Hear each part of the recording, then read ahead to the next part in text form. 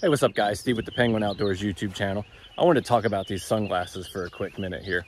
So I watch a lot of YouTube fishing and stuff, and I would always see uh, ads for these magical sunglasses.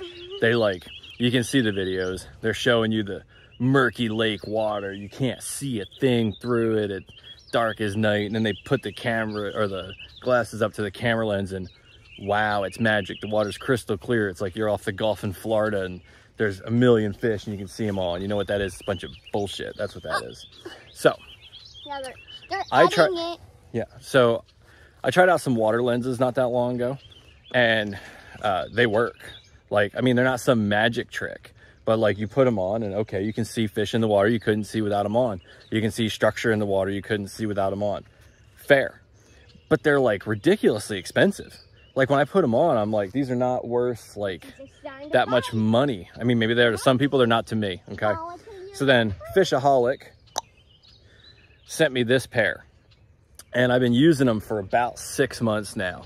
Um, I used them a little bit at the end of last uh, fall and I've used them the last couple of times out. So I wanted to talk about them. Okay. They work.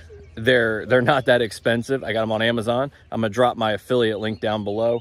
So here's the deal with them what uh, I have like a bunch of different sunglasses and some other sunglasses kind of do the same thing as these, but it's just not the same.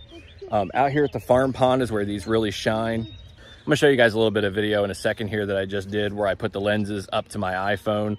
And you- so it gives you a kind of a, a realistic I idea thought of I what they, Too many bluegill. okay. It gives you a more realistic idea of what they look like to the camera, not the magical effects. Try with the glasses on. Let's see if it works for the camera. Was it? Kind of. Do you see any fishies in there? Do you see any fishies in there? They like to hide in muddy spots. Is there any fishies?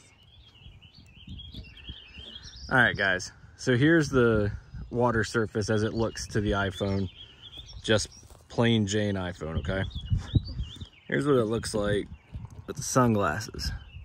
Now, it's not video editing or camera trickery because I'm not capable of that. You can see the difference that it makes to the camera. So I'm gonna tell you guys, I don't buy the hype of the water lenses or a lot of these BS ad campaigns, but I do like these ones. They let me see through the water the first few feet here. Um, and it's real great. Like right now I have my bluegill trap out there and I can kind of see the activity around the trap. They helped me find my lost lure just a few minutes ago. I like them, they're great. What'd you ask me? Did you see that big blue one? That one too? I don't, because you're the one wearing the sunglasses. oh yeah. So what do you think? Do they work? Yeah. Can you see more with them on than you can without? Yes. I see a ton of fishies. Yeah, see, I don't see shit. What I see is what the camera sees. What do you see? I see that fishy, and then I think I saw two um mini like bluegill without these, but because they're like super close. Can you see a fish right now? Um, let me see if I can find him again. Yep, Where? right there. He's swimming, and there's also a big fishy, and that little fishy's following the big fishy. Yeah, I can't see any of that.